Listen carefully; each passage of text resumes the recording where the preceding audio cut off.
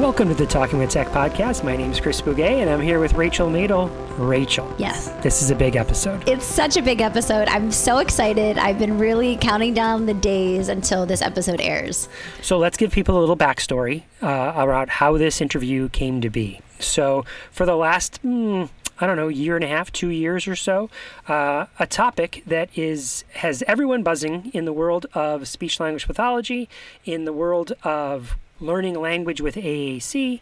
And certainly it's been a topic on our podcast where we've talked to a bunch of different people with different perspectives um, and have reflected on it, just you and I, talking on banter segments. Certainly, topic uh, that has come up at conferences where we've recapped what we've sort of experienced at different conferences. And that is the topic of Gestalt language processing. Yes, it certainly seems to be controversial, and it certainly seems to be um, something that a lot of people have big feelings uh, around. Um, and uh, as we sort of navigate our way through to find out sort of what is a way to approach Gestalt language processing. One of the ideas that came up with uh, you and I sort of uh, thinking about what direction do we take this in the podcast, you had this great idea. Yeah. So, you know, kind of to reiterate what you were just saying, Chris, it's been on my mind in my clinical practice. I have been really eager to learn as much as I can about Gestalt language processing. If you're a listener of the podcast, you know we've had Marge Blanc on the podcast, Alexandria Zakos. We've covered this episode with uh, Alyssa Hillary Zisk and Lily Conine, lots of different kind of angles and I think part of the reason it's controversial, it's it's because we don't know how to fuse what we know about AAC with what we're learning about Gestalt language processing. And I think that's like a really important distinction because I think all of the work around Gestalt language processing and building education and awareness around it has been really powerful and really useful. But we're myself we're trying to like figure out like how do we fit all the pieces together with what we know about AAC. And so I decided I'm going to just go straight to the source. So I sent Barry Prizant, who is the interview today, uh, I sent him an email. We are big fans of Barry's work. Uh, he has a book called Uniquely Human, and I remember reading that book and being really moved by that. Um, and he also has an amazing podcast where he's interviewed lots of autistic adults. Um, and in fact, his co host on the podcast is autistic. Um, so I decided I'm going to reach out to Barry and just one, tell him I love his work. Two, ask him about Gestalt language processing and reference some of his research. And three, like, why not just invite him on the podcast? You know, from one podcast host to another. Let's see if he'll go for this. Um, and I was just fangirling when I got a response from him. Um, I literally shrieked and was so excited to see his name in my inbox. And he was so wonderful.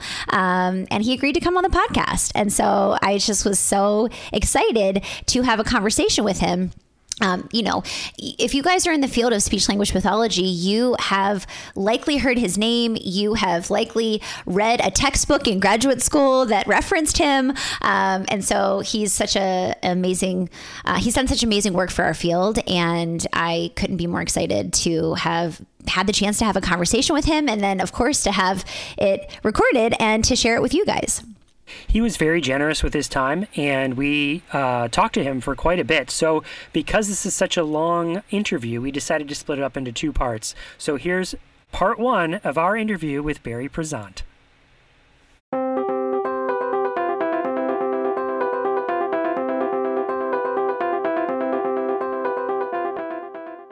Hello, Talking with Tech listeners. I am India Oaks and we are inviting you to join dynamic conversations with a community of people who are working together to make the world accessible for everyone at all times.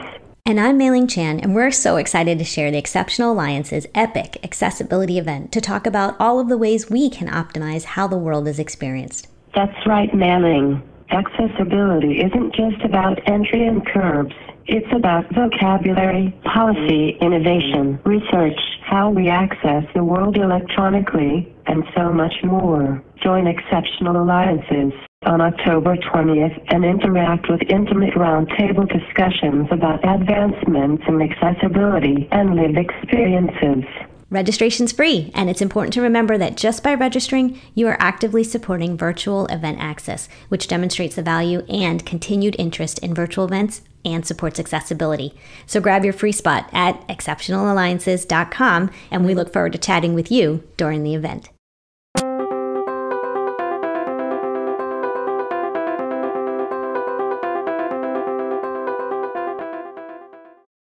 Welcome to Talking with Tech. I'm your host, Rachel Madel, joined as always by Chris Bugaj. Hey, Chris. Hi, Rachel. And we are so excited to have Dr. Barry Prizant on with us today. Thank you so much for being here. Rachel, it really, really is a pleasure. I'm looking forward to uh, our conversation. Uh, I, I feel like you don't need an introduction, but just for our listeners who maybe are fresh to the field of speech language pathology, can you just start off by briefly introducing yourself? Um, yeah, I am a speech language pathologist, and I've been a speech language pathologist um, for, I can't even say it anymore, 50 years. Uh, and uh, I always like to say to people that I started out uh, working in summer camps with kids, um, residential summer camps, before I, I pursued my degree in speech and language pathology and communication disorders. Um, and that was a great start to be on the ground with people with various labeled disabilities, misdiagnoses, where um, I lived with children and adults and was responsible for their happiness, their safety, um, and for five or six years, for two months every summer. Yep. Wow. Yeah, I, I, feel like that experience has really probably shaped your everything you've done because you have such an insight into kind of the day to day and every element of the day. I feel like summer camp is so immersive and it's just like morning, noon, night, like all the different kind of activities, routines, everything monumental influence. Uh, I always like to say that it certainly is nothing like living with a person you need to support in some cases 24 7 mm-hmm. um, or love 24 7. Um, mm-hmm. but it's a little bit of that feeling of um, okay what do we do to make sure we're all safe when we go on a trip into town or we go to the this was i'm thinking of southern new jersey now we went to the rodeo downtown or um, yeah uh, it, it, was uh, just a incredible experience that I think about all the time. And then how has your career blossomed from there? Again, with people who might not know about you, what's yeah. happened in those 50 years? Well, in those 50 years, um, first of all, when it comes to autism and even the broader category of neurodivergence, um, I started focusing on that in my master's program um, and actually did my master's thesis um, on writing a manual for parents. We're talking about 1975. Um, did my doctoral dissertation. Um, we've published in many different versions on echolalia. Uh, and then one of the experiences that was very formative after my first few green PhD years at Southern Illinois University, um, where I, I, taught primarily at a master's and doctoral level then, I was recruited um, by uh, the Brown Department of Psychiatry, Brown University Department of Psychiatry in the medical school, to develop um, a department in a children's psychiatric setting. Um, and it was actually the first communication disorders department, a dedicated department in communication disorders in a children's psychiatric setting in the world at the time. Um, and so I was working with mental health and child psychiatrists, mental health professionals and child psychiatrists um, very early on in my career. I was in my 30s at that point and was exposed to an incredible array of learning opportunities. Um, truly working with some of the leading psychiatrists in the world, Daniel Stern, Arnold Sameroff, who's actually a psychologist, and was exposed to the transactional model of child development. I'm a child development person. That a huge part of my training was in social, language, cognitive, emotional development in children at the time that there was an explosion of research in that area in the 70s and 80s. And the, that was incredibly formative um, because I always feel we always have to look through the lens of child and human development. Well, okay, you mentioned the word echolalia, and that um, is one of the reasons we're reaching out to you. So, Rachel, unless you think we should do this differently, I'm just going to tell Dr. Prizant the story here. Um, so, in Rachel's and mine work, and with the podcast and presentations we get to do, and conversations we have with colleagues, um, we've come to to understand uh, that there's a term out there called Gestalt language processing. Yes. And in our uh, sphere of conversations, it seems like people land in one of two camps around Gestalt language processing. So before we go any further, could you take a second and just maybe describe in your words how you think of Gestalt language processing. And then I'll describe how we see these maybe two camps uh, uh, forming. Sure. And I'll have to give you kind of the quick and dirty story here. uh, in uh, my research uh, in developing the rationale for studying echolalia, um, I began to look into work that had been done in linguistics and psycholinguistics. I actually was an undergraduate psycholinguistics major before I went into speech pathology. And I found um, little known references to children who were learning language using an alternative strategy of language learning. Because um, we spoke and we, I mean, we, we all learned, not that we spoke, but we all learned about analytic language processors, that children build language from its basic constituent elements of words, early multi word utterances, for those SLPs out there, early semantic relationships. and language was always thought of as creative. Um, and why is it creative? Because what we're really learning is generative rules that are part of our cognitive knowledge of language. But rather than kids just going from single word to early two word utterances to three word utterances to more complex grammar in their development, there was this minority position of some kids, certainly a minority group of kids, who were using, if you will, memory strategies to learn larger chunks of language. And the term Gestalt language processing actually came from a linguist uh, named Ann Peters. And she published a book in the 70s called The Units of Language Acquisition. Actually, she published some articles, and then the book came after the articles, where she said, and she knew nothing about, and she and she didn't cite any work about children with language disabilities, autism, whatever. Okay. Um, and she said, well, wait a second. Some typically developing kids start out by memorizing chunks of language that sometimes they could be three, four word utterances that they hear on a regular basis. And these are the kids, and this is actually my opinion, who some parents say, well, it's like, it's like he went from single words to long sentences um, and made that huge leap in development. Okay, so let's get back to echolalia. Um, I had worked with young kids as a speech language pathologist who were very echolalic. I followed those kids for a year, and that became the data for my doctoral dissertation. I uh, early days of video analysis. I videotaped these kids at home and at school in different settings. Um, and I was being exposed to the literature, behavioral literature, especially Lovaas um, from your neck of the woods, Southern California at UCLA, mm-hmm. who was saying echolalia is meaningless parroting and it should be extinguished and we need to get rid of it. Okay. Now, from the very beginning, I knew that Lovaas knew nothing about language development. And many behavioral psychologists knew nothing about language development because how do you teach language? And this literally came out of the most prominent language programs um, that were developed by behavioral psychologists. First, you teach kids to say sounds, then you teach them to add more consonants into their sounds,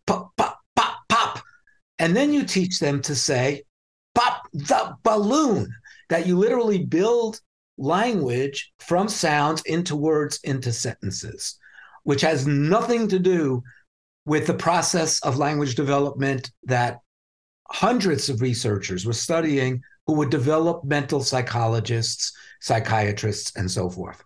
Okay, let's get back to the point here. Um, so, Gestalt language processing was a literature that said, no, wait a second, maybe this is what we're seeing in children, especially children on the autism spectrum, because even back then, psychological research, and that's what it was called, into the language of autistic kids and cognitive processing pointed out that they had not only intact, but in some cases, exceptional rote memories. So let's tie this together, okay? Mm-hmm. That if you approach language from the perspective of, I really got a good memory, but I don't have the cognitive ability to construct an internal generative language system, that I'm going to learn how to speak by listening to people and memorizing what they're saying. Mm. And that was an exact description of what I was observing in the immediate echolalia and the delayed echolalia of the children I was working with every day. But then I went back to the parents and I said to them, Your kids repeat speech a lot. Sometimes it's something they've, they've heard in the past, sometimes it's something they repeat immediately. Want to go out? Want to go out? And I said to them, Why do you think they do that? And I, I, didn't do no leading questions. I didn't say, well, some people feel it's meaningless or so forth. And I got all these descriptions of how it was communicative. Mm. Okay. And I said, I got a dissertation topic here. so Gestalt language processing was what I took from Ann Peters' work, the description, but it mapped so beautifully onto all the research on not only intact, but in some cases exceptional rote memory in individuals with autism. Mm-hmm. Um, and it all of a sudden made sense. This is their cognitive style. Um, and the it, it doesn't, and by the way, it goes well beyond speech. That very often we see individuals on the spectrum having incredible visual memory. Not all, but many. And there's a term for that eidetic imagery, photographic memory. Mm-hmm. Where, and I, I remember this so clearly. A child I worked with, and this was a 12 year old, his school had gone to visit a museum. And it was, I think it was in New York City, um, probably the Museum of Natural History, a room with full of dinosaurs, mm-hmm. and, and, an old room, a huge room. Um, and he told me, I went to a museum today. And I said, Could you make a picture? Because I knew he loved to draw. Not only did he make a picture of dinosaurs in or, or replicated pictures of dinosaurs, but he replicated cracks in the ceiling. He replicated the exit signs. It was like he took a photograph of it in his mind, purely rote, and was able to give all of the detail. So let's go back to echolalia. There are some echolalia kids who faithfully reproduce foreign accents. Mm-hmm. There's actually research on some kids before they move to echolalic speech they echo sounds in the environment. There's some literature, but not much, about kids on the spectrum who've learned sign language and they are they're echolalic in sign language. There's a literature on kids who repeat people's actions, and the term for that is echopraxia. Mm. So it seems that even beyond speech, that rote memory ability is related to this gestalt language processing but it goes beyond just speech and language. So that has been applied by other people, Marge Blanc in particular. Um, you know, and and in terms of laying out a philosophy of what Marge calls natural language acquisition, natural for autistic individuals, okay? But that it should be recognized as their alternative strategy. Now, I will say this since you guys are experts in AAC, I do know that it has also been applied to AAC, but I tell you the truth, I, am generally aware of the controversies around that, in that most AAC approaches follow an analytic language development kind of strategy, but I'm not into the weeds of some of the more controversial discussions. So I've spoken a lot now, and I'll hand it back to you guys. well, that was an excellent description. Let me see if I can describe these two camps and then yes. maybe just get your reaction on the these these two camps. So one would say one camp would say someone is born as a gestalt language processor um, or they're born as an analytic processor and maybe there's some portion of the population that's a little bit of both, yes. but they are two separate uh, biological paths that is something that you're born with.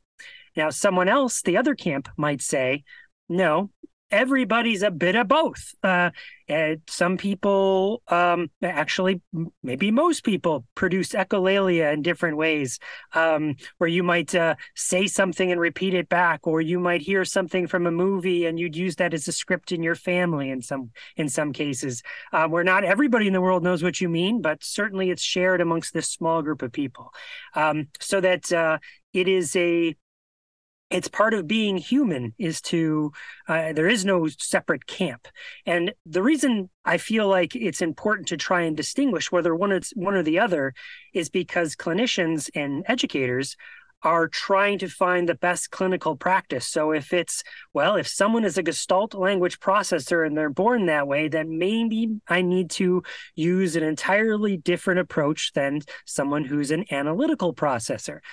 Or if it's a little if everyone's a little bit of both and maybe somebody's just more one way or more the other then i could still use different clinical um, approaches. Uh, an approach that is a little bit more analytical might still work. It just might not be as effective uh, or i could use it in conjunction with. It's not a, a closed door. So with that what do you, what's your take?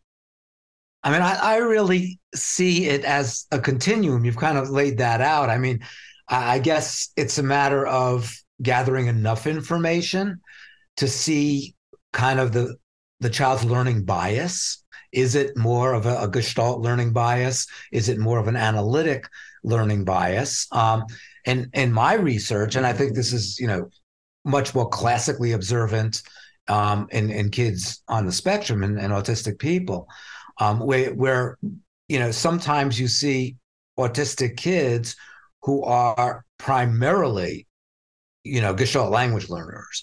And it takes a while for them to begin to move into generating novel multi-word utterances. Okay.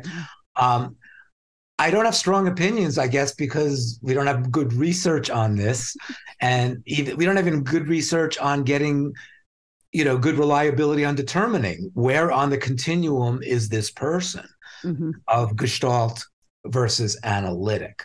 Um, I know, um, and, and again, I don't want to misquote because I'm not as deep into this as I should be, but I know that Alexandria Zakos, Alex Zakos, you know, that she really, both in AAC and in speech development, you know, is, is more biased towards let's be Gestalt with Gestalt learners. Mm-hmm. in other words, let's make sure that we are modeling whether it's through AAC or whether it's through speech, let's make sure we're modeling kind of more gestalt chunks that are functional for the child in life.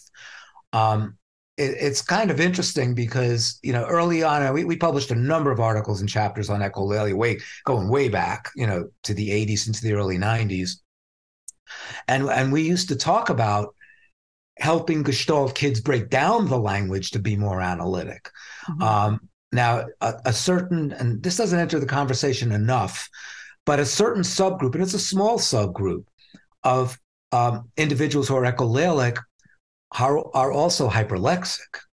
Um, and hyperlexia is defined as a self taught precocious reading ability, actually decoding ability, um, that, and there's not good research that I'm aware of in longitudinal uh, even in the reading literature, in, in terms of in longitudinal views and following kids who were very hyperlexic. I'm talking like two year olds who could read sentences. you know, that's a, that's a very extreme end of hyperlexia, not understanding much, but just from anecdotal experience for kids who I've known hyperlexic, it's almost like they're moving from rote reading with very little understanding if we model the written language naturally mm-hmm. and as part of everyday activities, they become more analytic in the sense of they're breaking down the units of meaning, that it's no longer just a chunk mm. that they're using. So, uh, I, you know, when you ask me where do I stand on those two positions, um, it's a great question that I haven't really thought about. Uh, and that might be the reason you got me on the podcast. You want me to state what my opinion is on that. well, t- t- that's exactly what we said. Why don't we just ask Dr. Prizant? Let's see. Rachel was the one was like, I'm just going to write him and see what he says. yeah. I, I mean, I, I think good language modeling in the context of everyday activities and even shifting back and forth between kind of modeling analytic language in, in a way that we're helping the child understand the rules of recombining words into longer grammatical utterances, as well as Gestalt functional phrases. Um, it, it really comes down to looking at the child's reaction to our modeling and what they're picking up on.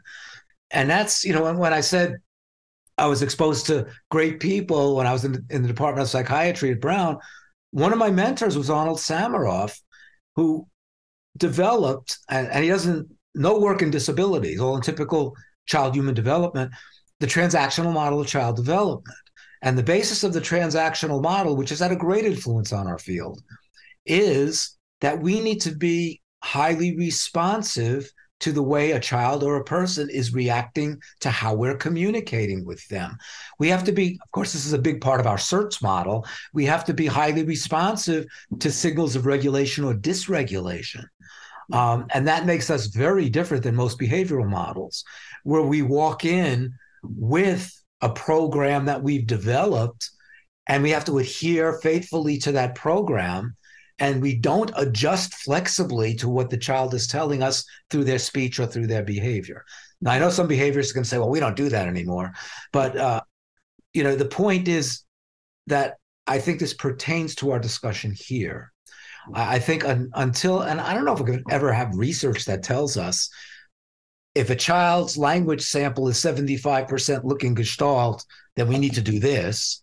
Because so much, let me give you a concrete example it's very typical for kids who had been echolalic for years and now are using very creative, spontaneous language to actually go back to echolalic strategies in new situations, unfamiliar contexts, the beginning of a school, a new school year, being spoken to and asked questions by an unfamiliar person.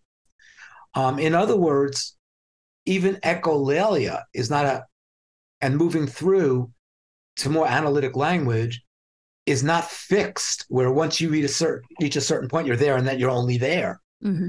um, that it could really the degree of stress because using gestalt language and scripts actually allows us to have less of a cognitive load in mm-hmm. formulating language okay if we could just come up with a memorized script we do this all the time you know, so when you're saying, well, yeah, we all use some scripts and some Gestalt language. Hey, how you doing? What's going on? You know, it's like mm-hmm. exactly great. How are you? right? Exactly. we do that even if we're ordering a pizza. You know, I'm I, my favorite example for myself, um, and I believe you have Dunkin' Donuts out in California. If you're going for, you know, coffee, uh, you know, I might say, you know, uh, medium hazelnut, extra extra light, no sugar. yeah it's a fused chunk and I don't have to go back and think, okay, how do I formulate all the pieces of what I want my coffee to be like? Mm-hmm. Okay. So it's less of a cognitive load. And I don't think that's understood enough mm-hmm. that we, we all script. Um, my, my, another favorite example you go to a social event, you really don't want to be there. You're tired, but you go there because your partner, you know, you feel obligated to go with your partner and then you you see somebody you never really liked and that person approaches you. And that person says hey barry how you doing? Oh fine. How you doing george? Hey barry i, I hear that you uh you moved to a new neighborhood pretty close to where i live. Yep new neighborhood. I think it's close to where you live. And, and you can carry on a conversation by repeating almost everything or part of what people say. You change the pronouns around a little bit. You could add no new information and you could keep a, a, conversation going because you just don't want to focus on talking to this person and putting the energy into it those are called by the way in the speech communication literature those are called repetition strategies mm. right we would say in the AAC world, repetition with variety. So we want to repeat, but just change the words a little bit so you understand how those words can be used in different ways in different contexts. Exactly. And and the term for that in the echolalia literature is mitigated echolalia. Mm-hmm. Um, and mitigated, you know, it always kind of confused me because I always thought of mitigated as, um, you know, you you make something less, okay. Mm-hmm. But the term mitigated echolalia, and I think it, I first read it by a wonderful speech language pathologist, Warren Fay, who published early in the in the echolalia literature. He was um, a professor at uh, University of Oregon Health Sciences Center. He passed away a number of years ago. Um, and I'm one quote that I, I cite a lot. Warren said at that time, "If we're not sure whether echolalia um, is functional and is helpful or not helpful and interfering for autistic kids, shouldn't we give them the benefit of the doubt?" right. Exactly. Yeah. What's what's the least dangerous assumption? It's more dangerous to assume that it has no meaning. So you have the least dangerous assumption of assume it does and be respectful of it. That seems something that uh, both camps uh, agree upon. We start there as a as a way to uh, bring everybody together. It's like let's yeah. not abate it anymore. Let's respect it. Yes, I mean, yeah. Was, go ahead. I was gonna ask. Gonna well, kind of give context to the AAC, why basically why this is important. Yes. All right, I'll hop in. Um, so I think one of the reasons this question becomes so important with AAC is that when we're working with complex communicators um, who are either using augmentative forms of communication or alternative, um, it's hard from a motor planning perspective to follow you know a model where we're using long phrases in a AAC system and then we're trying to mitigate those phrases. And so i mm-hmm. think you know for myself clinically I have been supporting my students and very aware of what approaches they're responding to mm-hmm. and really using that information clinically to decide what I'm doing and, and how I'm moving forward. But mm-hmm. I think the AAC community is feeling very uh, challenged by the the idea of how do we i mean aac systems are set up analytically, right? It's set up with words that we learn the motor plans for. And so it just becomes a challenge when we're trying to support our our communicators the best way possible in, you know, therapy and in, you know, all the work that we're doing. And so I think that it, it made me feel better that you said like do a little bit of both and see you know how a child responds because i feel like that's what i've been doing clinically and i've been seeing a lot of success with that type of strategy yes and as a matter of fact i um uh, he was never really a colleague, but a, a distant colleague of mine, Howard Shane, um, not too long ago, uh, shot me an email and said, "What do you think about all this Gestalt language processing stuff?" And I didn't know the ulterior motive underneath the question, as you well, just you as you just exactly explained.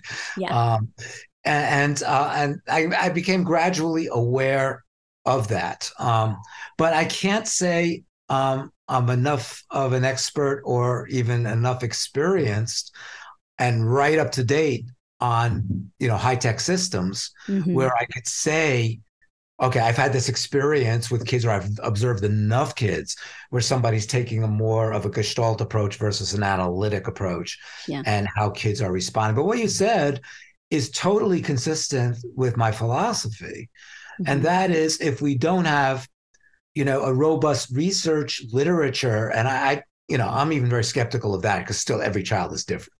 So you know, you can't, you can't, say we've done this study with 30 kids who we thought were Gestalt language processors but non-speakers, and therefore our findings pertain to every new kid who walks through the door. Right. Um, so it, it's you know what you're saying aligns beautifully with, with with my philosophy. Is you know, when we're trying something that's an emerging practice, and if we want to put that there, I mean, this mm-hmm. is something that's so misunderstood, especially in the autism literature, where people say, well, you know, that's not evidence based. We don't have this research base to support using that. Well, that would preclude any emerging or promising practices. Um, and they're and I'm not making up those terms.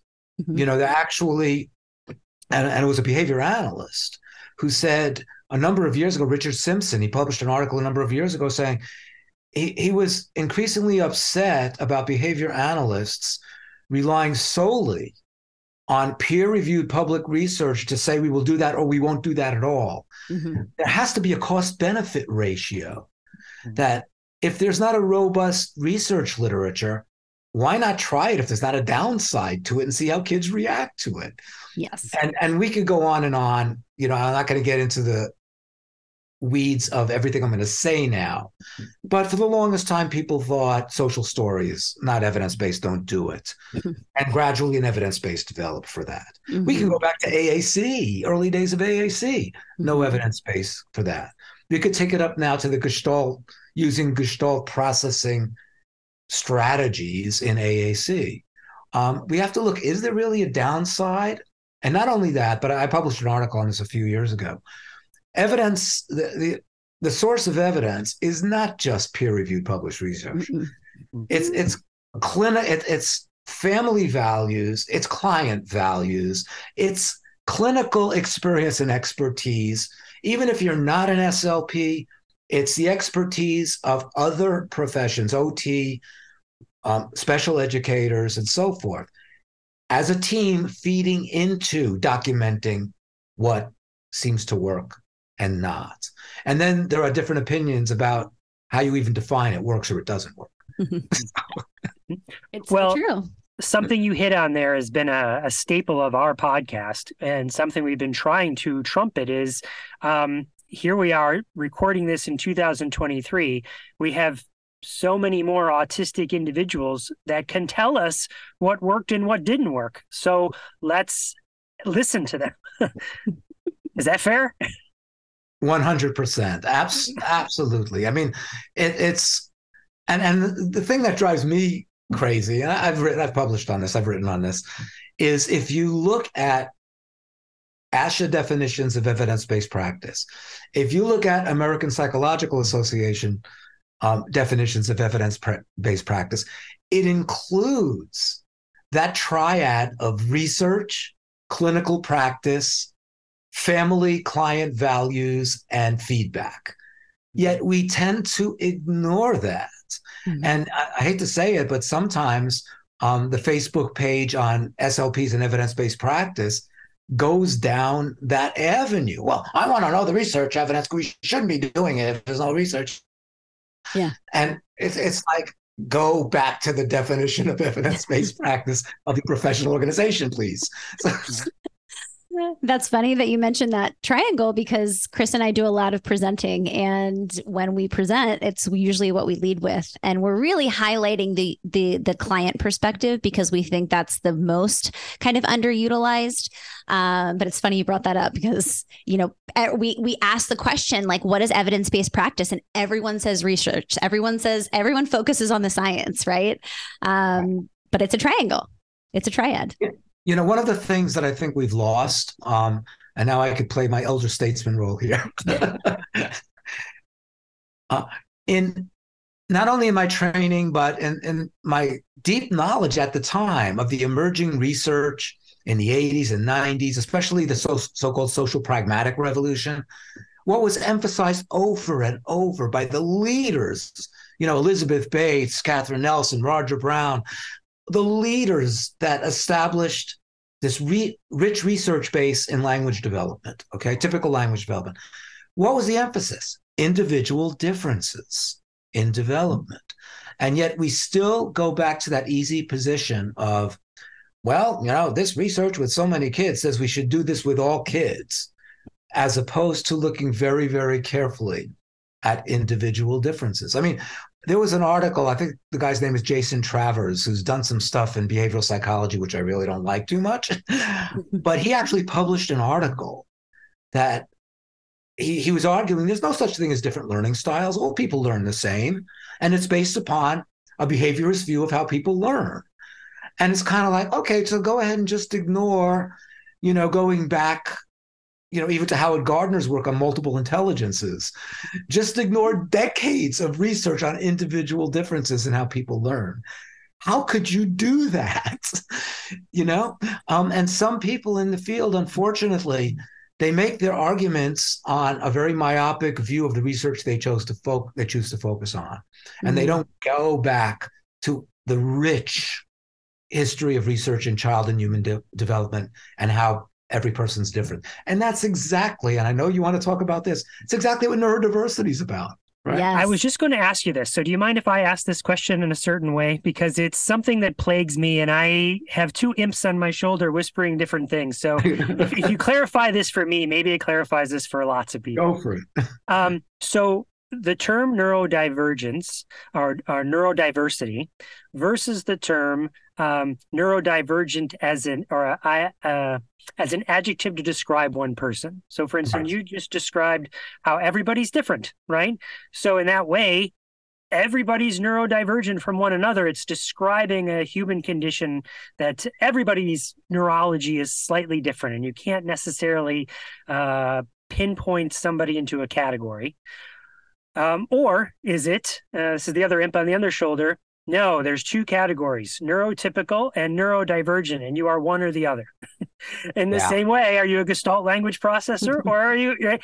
Um, so, again, what's your take on that? Is it that there's two types of people, neurotypical and neurodivergent, or neurodivergency represents a human condition of all of us?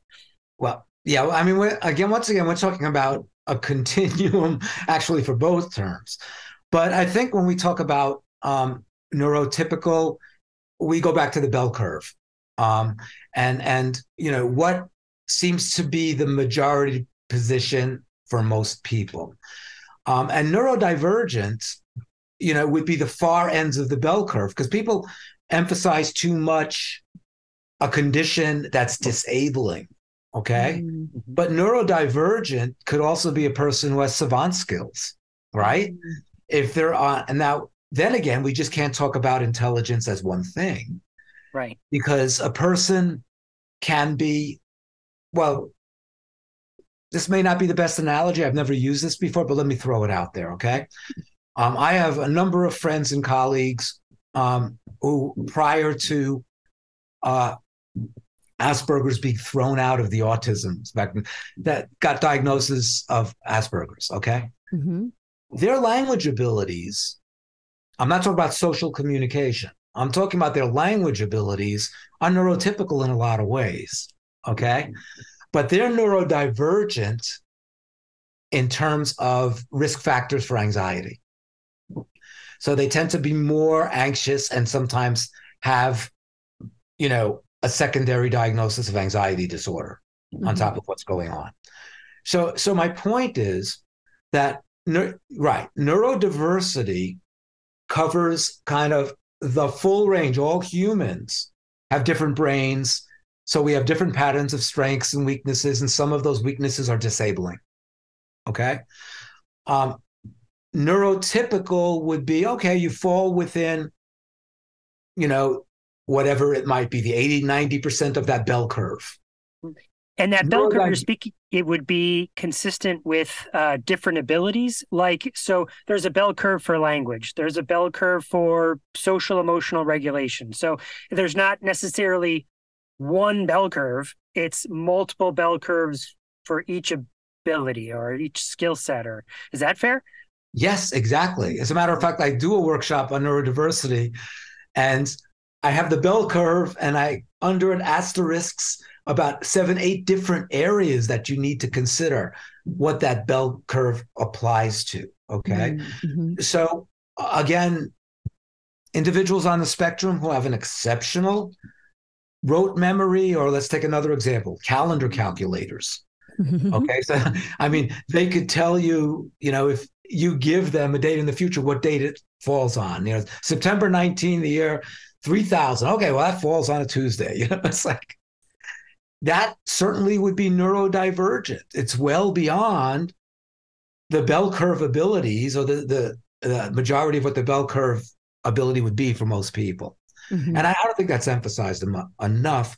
Yet it's spoken about when we talk about, for example, employment for people who are neurodivergent. Let's look at the areas that they may show relatively, and not even relatively, absolutely strong abilities or exceptional abilities. And let's have them participate in employment settings so they can apply that strength. Okay. Mhm. Um, so I, I use the term neurodivergent when a person is kind of beyond what we would expect in the general population, the majority of what that bell curve tells us. Mm-hmm. Yet, having said all of that, we're still working out these definitions. Mm-hmm. Okay. So you and, and you're correct when you said that, you know, neurodiverse really shouldn't be applied to a single person. Neurodiversity is a larger group of people. Um, yet people I still see, and in some cases, people I know who've published, you know, in peer-reviewed research saying, oh, that person is neurodiverse, meaning that they have some condition which we would call neurodivergent. Mm-hmm. So, yeah.